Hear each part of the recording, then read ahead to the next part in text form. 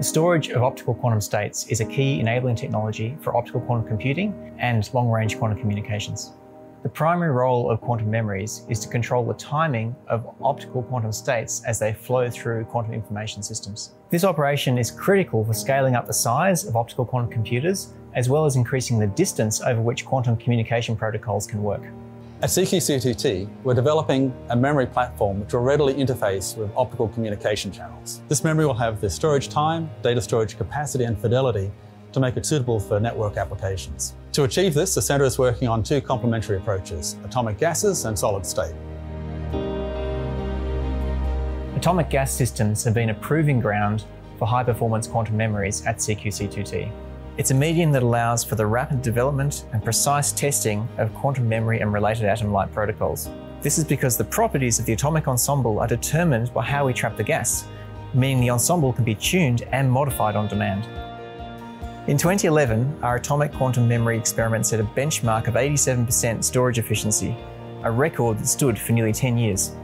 We also demonstrated that our memory protocol is free from any added noise, meaning that it is compatible with quantum networks we're able to show storage that beat the no cloning limit for times that exceeded the best possible storage in a fiber loop. In 2017, we found a way to create a pulse of stationary light that was bright but trapped inside the atomic cloud. These stationary states open up methods to enhance photon-to-photon -photon interactions for optical quantum gates. These gates would also require the storage of single photons which form qubits. Along the way to maximizing the number of atoms in our magneto-optical trap, we've developed a machine learning system that is capable of tuning the performance of a complex system in real time.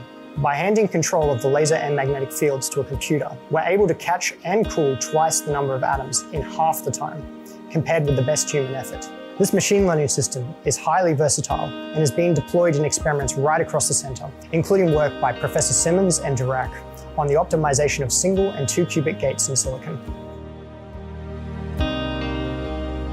The solid-state platform being developed by the Centre is based on rare earth doped crystals. These crystals are uniquely suited to real-world applications.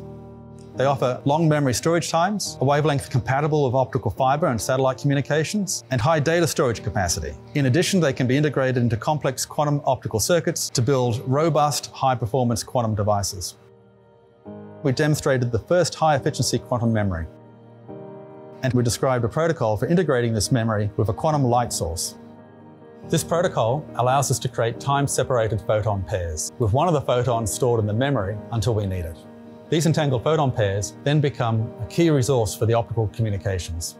As we're now working towards long-distance quantum communication, erbium is becoming a key element for us because it's the only element that interacts with light at the telecom wavelength we established the operating conditions required to make an erbium-doped crystal suitable for a high-performance quantum memory. Since then, we've been optimizing the storage time, bandwidth, and efficiency of the memory. With these improvements, we're now set up to demonstrate initial quantum repeater operations. To push up the memory storage, we're developing cavity-enhanced memories. These memories will provide the data storage capacity required for real-world applications. We're exploring one of these applications, satellite-based quantum networks with NASA. This project is supported by the SmartSat CRC. By adding a second crystal into the cavity, we can convert the memory into a linear optics quantum processor. By passing quantum information stored in the memory registers between the two crystals, we can perform the entanglement generation, linear optics operations, and readout, all required for the processing. This processor will form the core of our full quantum repeater demonstrations. Following that, the next step is to demonstrate a complete quantum network.